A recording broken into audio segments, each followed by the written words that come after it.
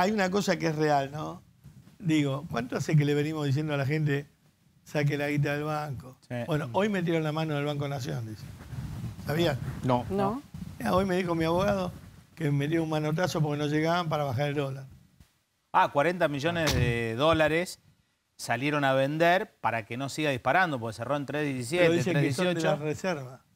Claro, sí, sí, del Banco Central. Del Banco, perdón, perdón. Claro. Del Banco Central. Sí, sí, sí, 40 millones Sí, sí, de dólares. llevan y el vendido tema es que no hay varios- más, varios Babi, ese es el punto. No hay confianza, no hay más dólares, no se pueden emitir más pesos, como decía Mumi, porque tenés un por el acuerdo con el fondo. Entonces llega un momento que la realidad te lleva puesto. El día que el campo guarde en silobolsas, Sí. el día que nosotros saquemos toda la guita de los bancos y la pongamos en dólares y la guardemos, a ver de qué se disfraza Grabó y todo estos pelotudos. Van a tener que ir a laburar. ¿Viste en Holanda lo que hizo el campo No. hace unos días? Bueno, hay toda una, viste, toda esta nueva onda de la producción ecológica, Sí, que claro. está muy bien, que Claro. está muy bien, pero a veces se pasan de mambo.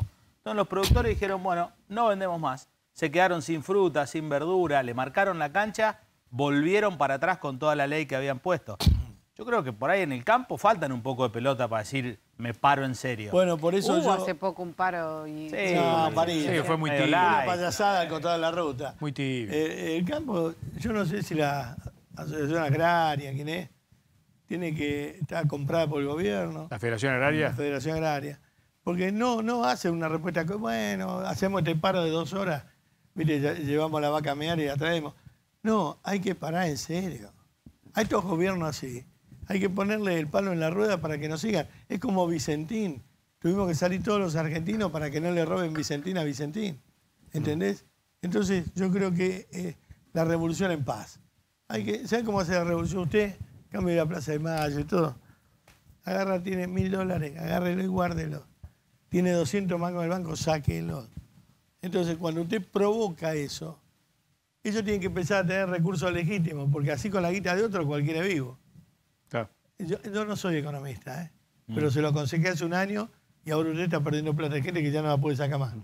Entonces, le digo, haga una caja fuerte, guarde todo hasta que eh, Cristina vaya en cana o no, la jugada, hasta que Alberto termine el año y medio, hasta que Grabois no se haga el cojudo con la guita de otro, porque Grabois se para y hay sangre, es es una extorsión.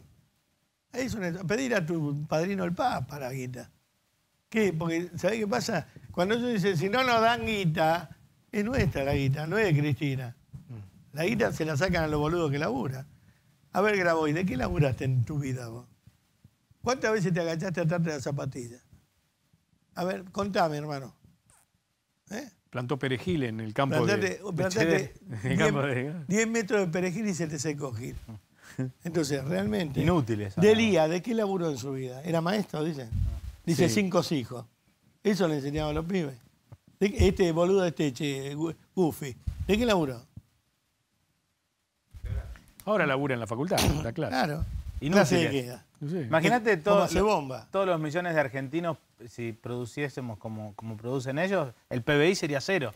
Claro, Cero. Máximo Kirchner. No, eh, no, para, para terminar, para terminar este, plastilina tuvo que estudiar, porque se llevó plastilina al jardín de infante. ¿Cuántos que tienen los nylon puestos del auto todavía, no? Los nylon- tienen los nylon como los... ¿Cuántos amigos, cuántos amigos míos Claro. son licenciados, profesores, maestros, y viven de un sueldo y este anda de eh, labura de. ¿A qué te dedicas, Max? Yo soy líder. Claro. Liderazgo Tiene una horizontal. tarjeta que dice líder, hijo de Cristina y líder.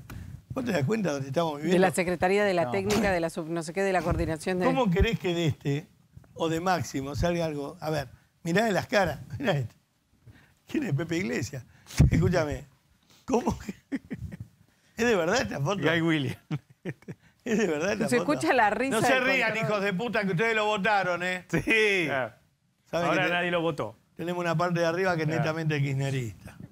Son gente, no son como nosotros, tenemos arriba. Claro. Bueno, Vos sabés que, mm, hablando de lo ya que estaba decíamos... con los T10 nuevos, ¿eh? Sí, comedor, Es- living y es comedor. increíble a la edad de Alberto tener los dientes tan blancos. Es un comedor, living y comedor. ¿eh? Vos fíjate esto, ¿no? Un detalle del hijo de puta que se los hizo. Sí. Fíjate la perfección de estos dos dientes. Claro. Buscame un tipo en el universo que tenga las dos paletas iguales. Encima se, se ve que el tipo es radical, se los hizo largos. Y quedó medio así, ¿viste? Claro. ¿Eh? Ay, no. ¿Es? Y del mismo pobre Lambertay, un homenaje.